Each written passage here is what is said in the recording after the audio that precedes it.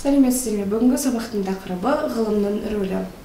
Бүгінгі сабақта меңгеретіндеріңіз жаратылыстану ғылымдарының зерттеу нысандарын тізіп атау. Ғылым дегеніміз не?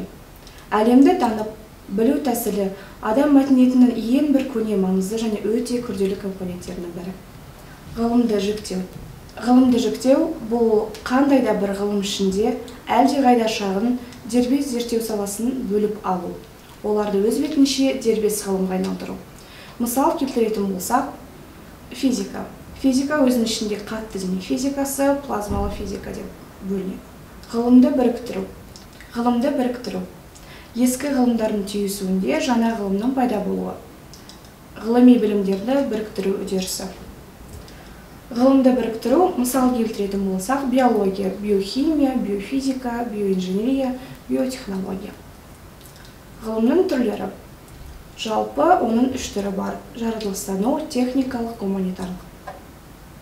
Жаратылыстану ғылымдары табиғатты зерттеумен айналысатын ғылымдардың жиынтық атауы.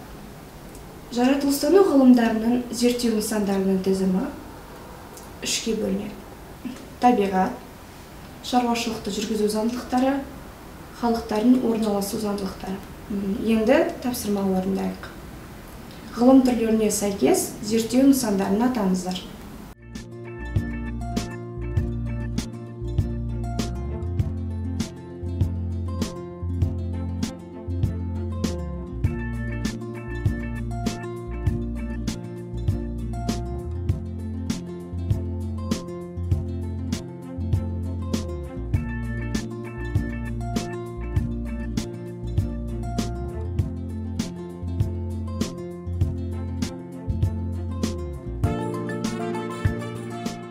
енді жауаптарыңызды тексерейік. Биология тірі тіршілік иелерін зерттейді геология жердің пішіні мен құрылысын зерттейді физика әр алуан табиғат құбылыстары мысалы қозғалыс дыбыс жарық электрлік. Химия заттар және олардың қасиеттері басқа заттарға айналып түрленуін зерттейді.